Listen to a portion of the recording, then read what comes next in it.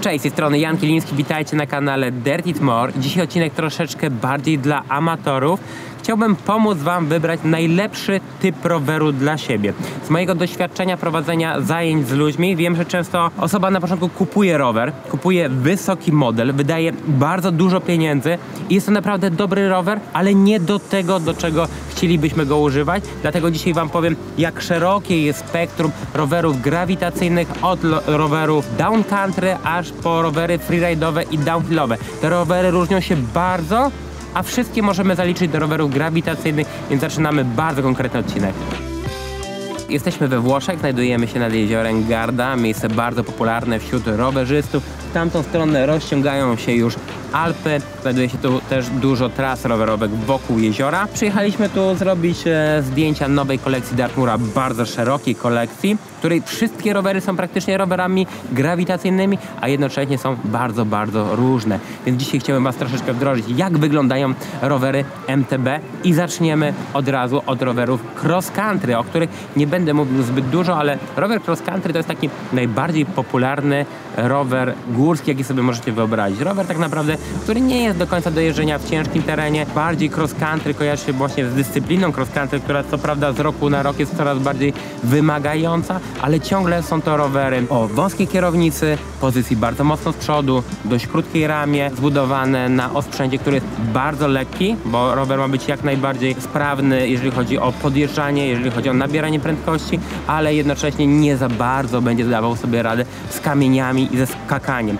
Ja bym tak naprawdę tego roweru cross country nie zaliczał do rowerów grawitacyjnych, ale trzeba o nim powiedzieć, bo dużo osób pierwszy raz idąc do sklepu rowerowego prawdopodobnie zderzy się z tym, że sprzedawca zasugeruje, że to jest rower górski i na nim można robić wszystko. No można robić wszystko, tylko nie skakać, zjeżdżać i robić inne hardkorowe rzeczy w górach, więc roweru cross country tutaj w ogóle nie rozpatrujemy kolejny rower. Kolejny rower to ciągle rower, który na pierwszy rzut oka wygląda jak rower cross country, a nazywa się rowerem down country. I jest to rower, który jest już troszeczkę bardziej komfortowy, jeżeli chodzi o rower zawieszony, bo on ciągle może być hardtailem, czyli rowerem bez zawieszenia, albo może być rowerem zawieszonym pełni, czyli z przednim i tylnym amortyzatorem. On ma około 120 mm skoku, rowery cross country mają około 100 mm skoku.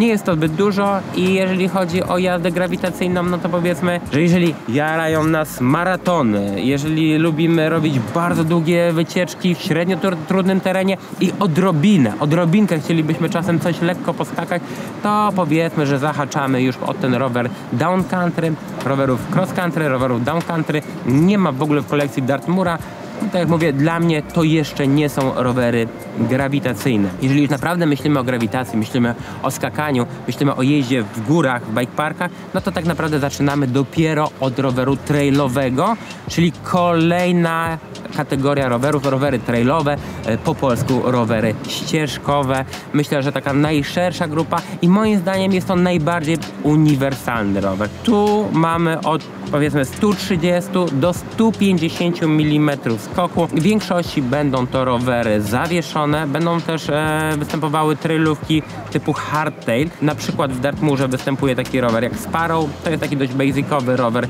hardtail trailowy. Występuje Primal, czyli troszeczkę lepszy rower trailowy, zresztą występuje aż do wersji Pro na bardzo fajnych komponentach, ale nie oszukujmy się, jeżeli chcemy jeździć naprawdę w terenie, chcemy się e, cieszyć tym terenem, to najlepszym wyborem jest jednak rower zawieszony. Osobiście uważam, że hardtail powinien być podyktowany jedynie decyzją budżetową, czyli nie chcemy wydać tak dużo pieniędzy na zakup i serwisowanie roweru, dlatego kupujemy hardtaila, ale jeżeli zależy nam na performance i zabawie na tym rowerze, to powinniśmy celować jednak w fulla. Jeżeli chodzi o trailówki, to z definicji możemy powiedzieć, że to jest rower do jeżdżenia po szlakach, ale w takiej naszej bardziej grawitacyjnej definicji jest to rower, który jest mega uniwersalny do jeżdżenia po flowowych trasach, po bike parkach, bardziej trasach mm, niebieskich i troszeczkę czerwonych. Jest to rower, na którym możemy spokojnie skakać i tak naprawdę bawić się wszędzie. To, co jest fajne z tym rowerem, to zarówno będziemy mieli fan jeżdżąc po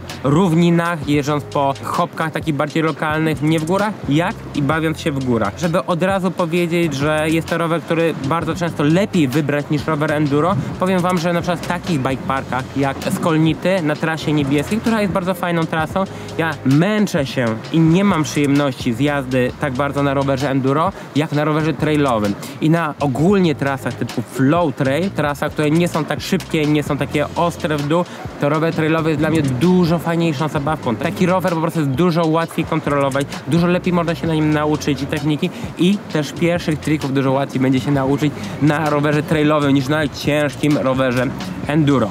Jeżeli chodzi o komponenty, to bierzcie pod uwagę, że to nie jest tylko wartość skoku, nie jest tylko e, geometria roweru, ale to jest cały rower i wszystkie komponenty. Czym będziemy głębiej w tej grawitacji rowerowej, tym każdy komponent będzie bardziej przewidziany do cięższej jazdy.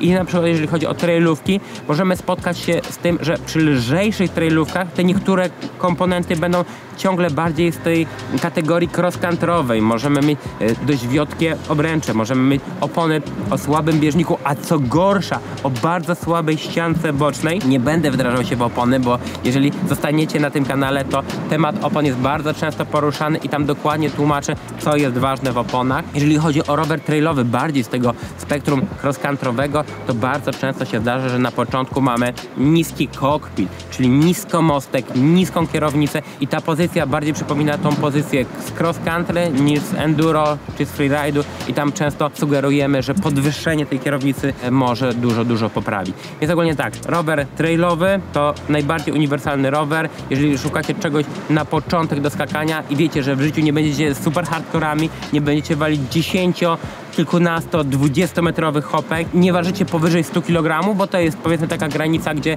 ten rower trailowy do jazdy grawitacyjnej może być za słaby, to w większości przypadków fajny rower trailowy może być super wyborem. Zresztą taki przykład, jeżeli chodzi o stajnie Dartmura, o akurat tutaj obok mnie jest Bluebird, czyli trailówka od Dartmura, która ma 140-140 skoków. Na takim rowerze przez wiele sezonów jeździł Piotr Krajewski i dla niego do jazdy na przykład po Kazurce, czy właśnie po takich trasach flowowych jak Niebieska Wskolnica, którą bardzo lubi tą trasę. Ten rower był świetnym rozwiązaniem i jeździł właśnie na Bluebirdzie, a nie Blackbirdzie, który jest rowerem enduro. Jeszcze ostatnia rzecz, jeżeli chodzi o rower trailowy, która też będzie dotyczyła kolejnych rowerów, to jest rozmiar koła. Często właśnie stajemy przed tym wyborem, czy to 29 cali, gdzie ciągle niektórym zajeżdża bardziej rowerem cross country, czy to 27,5 cala, które jak wiadomo jest kojarzone bardziej z rowerem freeride'owym. Moim zdaniem w 90% przypadków Odpowiedź brzmi 29 cali. Jedynie 27,5 cala ma sens wtedy, kiedy wiemy, że będziemy skakać na lokalnych hopkach i przede wszystkim interesuje nas skakanie. Będziemy jeździć po flowach, ale mm, nie jakoś super bić rekordy, tylko właśnie bawić się w jakieś myczki i tak dalej. Potrzebujemy bardzo sprawny rower. No i przede wszystkim hopeczki. To tam 27,5 cala ma trochę sensu, ale w większości przypadków absolutnie 29 cali. Jeżeli ewentualnie jesteście naprawdę niskiego wzrostu, powiedzmy poniżej 1,60 m, no to wtedy ma sens rozważenie muleta, żeby ten rower był bardziej kompaktowy, ale naprawdę wierzcie mi, rowery 29 cali o nowoczesnej geometrii wcale nie są bardziej zamulone, nie operuje się nimi trudniej niż rowerami z kołami 27,5 cala. No i w tym momencie, jak powiedziałem, że rower trailowy jest tak naprawdę najbardziej uniwersalnym rowerem, fajnym do skakania i jeżdżenia, pojawia się temat, dlaczego bardzo dużo zawodników tak zwanych slobdurowców, podoba mi się kategoria zawodnicy slobduro, czyli wykorzystujący rower enduro bardziej do freestylu, wybierają rowery enduro, a nie wybierają właśnie rowerów trailowych, które według przedstawionej przeze mnie definicji powinny się do tego nadawać lepiej. Przede wszystkim Rower trailowy przez swoją uniwersalność nie może być zbyt ciężki, a jeżeli nie może być zbyt ciężki, to nie może być też aż tak sztywny, aż tak wytrzymały i aż tak mocny. Rowery enduro, czyli te, które powiedzmy są już od 150 do 170 mm skoku są rowerami do jazdy w bardzo ciężkim terenie. Jakby tak znowu definicja podstawowa. Rower enduro to rower, na którym w miarę sprawnie, nie najszybciej, ale sprawnie dostaniemy się na szczyt i jesteśmy w stanie zjechać każdą trasę z mega fanem i ten rower nigdzie nie może nas zabić. Nie może zabraknąć nam skoku, nie może zabraknąć nam sztywności kół, nie może zabraknąć nam trakcji, opon, nie możemy opony rozerwać i musimy mieć takie hamulce, żeby w każdym momencie, nawet po 4, 5, 7 minutach zjazdu cały czas hamulce hamowały. Więc jak widzicie, jest to rower, który ma bardzo duże wymagania i dlatego konstrukcje ram przeznaczone do enduro są założenia mocniejsze. I tu od razu mówię, dlaczego slop durowcy wybierają rowery enduro i dlaczego, jeżeli chcecie rower do taki uniwersalny jak trailowy, ale ważycie dużo, powiedzmy 90, 100, 120 i więcej, to powinniście wybierać rower enduro. Jeżeli chodzi o wartość skoku, wiele osób powie, to w zasadzie jak ten rower trailowy jest tak blisko roweru enduro, a ma więcej skoku, a więcej skoku, jak wiemy, im więcej, tym lepiej, to lepiej wziąć rower enduro. Nie. Jeżeli mamy więcej skoku, co prawda możemy utwardzić go, żeby ten skok tak nie przelatywał, ale mamy geometrię zbudowaną do pracy zawieszenia. To znaczy, jeżeli mamy przeznaczony rower, gdzie powinniśmy mieć 25% sagu, a my tego sagu zrobimy sobie 10% i zrobimy go tak, że on zawsze będzie w górze zawieszenia, to ten rower nie będzie dobrze jeździł, bo on będzie jeździł przy innej geometrii niż ta, do której został zaprojektowany pod odpowiedni sag. Dla osób, które nie rozumieją jeszcze terminu sagu, to na rowerze zawieszonym jeździmy w lekkim ugięciu zawieszenia. To jest właśnie ten moment, kiedy mamy lekko ugięte zawieszenia w terenie po to, że jak wjeżdżamy w dziurę, to jest jeszcze zakres amortyzatora, na którym on może się wyprostować i cały czas trzymać trakcję. Więc tak jak mówię, więcej skoku nie oznacza lepiej. Jeżeli nie interesuje nas łomotanie w ciężkim terenie, jeżeli nie interesują nas wielkie jumpy, to mniej skoku może dla nas oznaczać nawet lepiej, że ten rower będzie bardziej zabawowy niż będzie taką wielką krową. Jeżeli już e, mówimy o rowerze enduro i mm, mówimy pod kątem jazdy w terenie, to wybór kół powinien być oczywisty, jak już powiedziałem, absolutnie jestem fanem 29 cali. E, dwa słowa o mulecie. Mulet to jest rozwiązanie, gdzie z przodu mamy większe koło, z tyłu mamy mniejsze koło. Szybko mówię dlaczego. Większe przednie koło to większa trakcja, lepsze pokonywanie przeszkód, mniejsze tylne koło to e, lepszy ogar teoretycznie roweru przy szybkich zakrętach, gdzie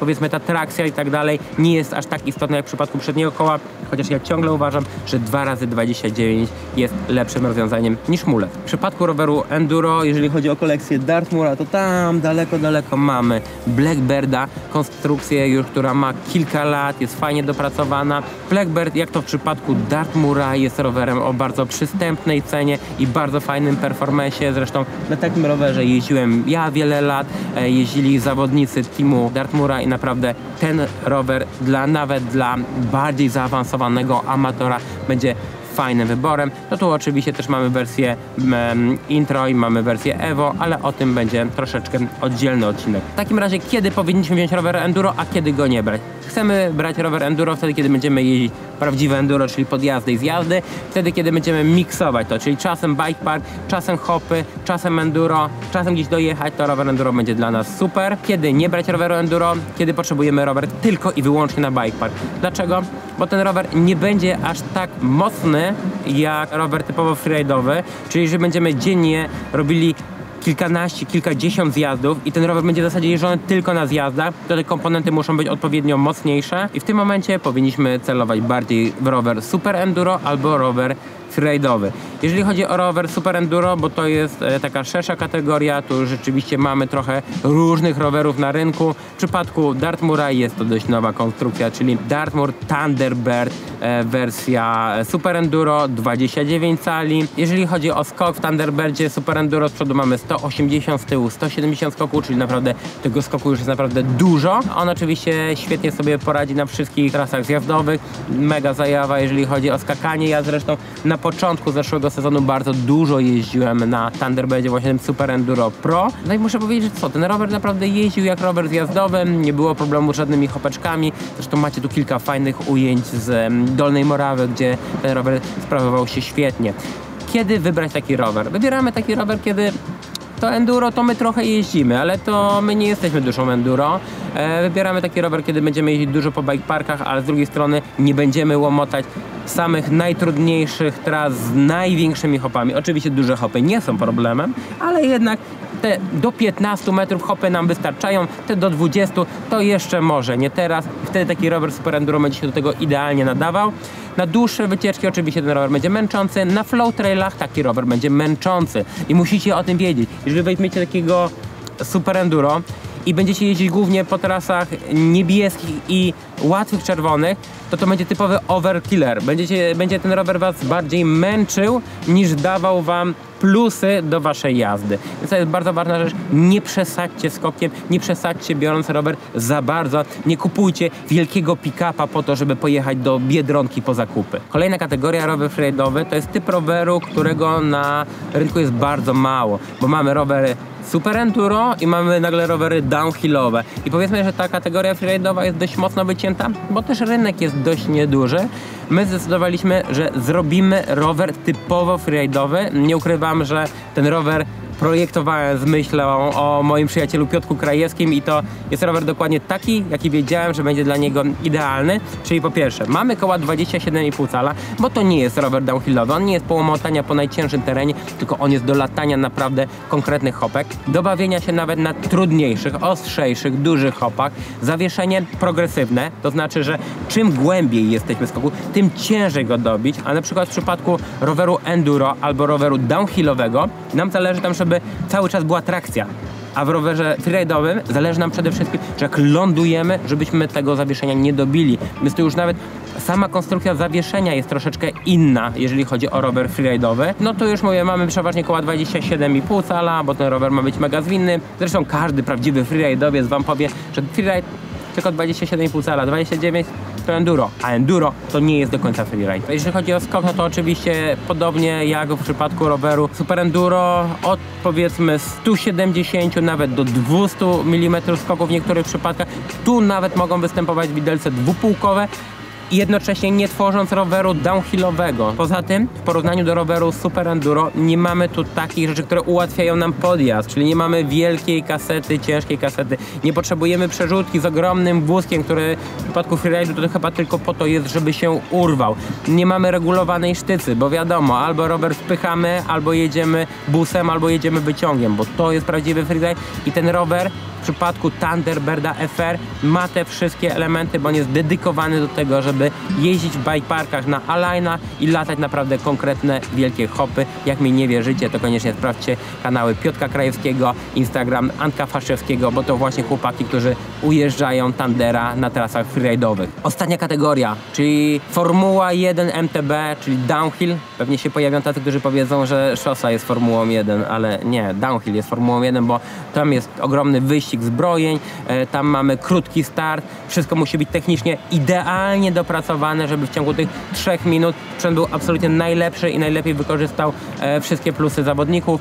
Rower wyścigowy, rower do zjazdu, do downhillu. To nie jest rower do skakania stricte, tylko do tego, żeby być jak najszybszym i jak najbardziej przyklejonym do ziemi. E, oczywiście mamy niektóre rowery downhillowe, które w pewnych specyfikacjach troszeczkę są bardziej skierowane właśnie do klienta, który chce mieć rower bike parkowy. Tak, oczywiście tak, ale z założenia rower downhillowy Duży rower downhillowy wcale nie jest dobrym rowerem do freeride'u i dlatego niektóre marki oddzielnie robią rower downhillowy, który ma 200 skoków, a oddzielnie robią rower freeride'owy. Jeżeli chodzi o rower downhillowy, to naprawdę uwierzcie mi, jeżeli oglądacie ten film i nie wiecie jaki rower potrzebujecie, bo jesteście na początku tej waszej przygody, to na pewno nie potrzebujecie roweru downhillowego. To już jest rower typowo zawodniczy, rower do ścigania i też nie jest dobrym rowerem do tego, żeby nauczyć się jeździć. To jest dobry rower do tego, żeby go wykorzystać w pełni, kiedy już naprawdę świetnie potrafimy jeździć. Mam nadzieję, że ten film troszeczkę wam przybliżył, pokazał wam po kolei, jakie występują rowery, przybliżył wam to, gdzie wy powinniście swoimi umiejętnościami i ambicjami odnaleźć swój sprzęt idealny. Pamiętajcie, jak ciągle dla Was coś jest niejasne, to pod tym filmem w komentarzach, przy konkretnych pytaniach, pod Wasz styl jazdy, czyli piszecie, co chcecie jeździć, gdzie jeździcie, jak często jeździcie i nad jakim rowerem się zastanawiacie. Ja Wam wprost odpowiem, czy to jest dobre rozwiązanie dla Was, czy jednak powinniście spojrzeć na jakiś inny rower albo na inną kategorię roweru. Powiem Wam, że bardzo często dostaję zapytanie, czy to jest dobry rower do mnie i link i spokojnie 50% tych wyborów jest zła. Jest taka, że ktoś może kupić naprawdę rower za 20, 30 kilka tysięcy i to będzie rower, na którym będzie mu się beznadziejnie jeździło. Nie dlatego, bo to jest zły rower, tylko to jest rower źle dopasowany. To było na tyle. Jeżeli podobał Wam się taki odcinek, który trafia bardziej dla amatorów, trochę usystematyzuje takie podstawowe kwestie dotyczące wyboru rowerów, to pamiętajcie o łapkach, o komentarzach, bo dzięki nim ten kanał będzie rósł i będę mógł tworzyć materiały takie jak te. To by było na tyle. Trzymajcie się. Cześć. Jezus Maria, dobra. To w betoniarce jest? Co? Ogień w betoniarce. Tak, Nie, betoniarce był ogień czy ogień w Nie, piekarniku? głowa w betoniarce. Głowa w betoniarce, ogień w piekarniku. No.